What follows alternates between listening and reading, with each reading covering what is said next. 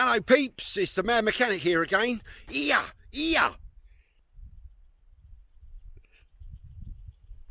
I got some bit of historic things to tell you. Now listen.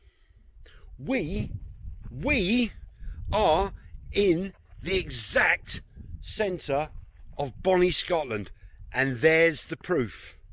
It's what they call the, the, the exact centre of Scotland stone. It was laid in 1915, uh, 1915, 2015 to mark where everything measures from the Atlantic Ocean, all the Ordnance Survey maps, all the distances end up, not on my car, but end up right there at the centre of Scotland. How cool is that? Eh? Right, and on that note, some little curious facts, if I can find some, I will let you know. But here we are, the Zen, the actual centre of Bonnie, Scotland. Isn't it pretty? Pretty, isn't it? Look at that. Centre. You can't go any further.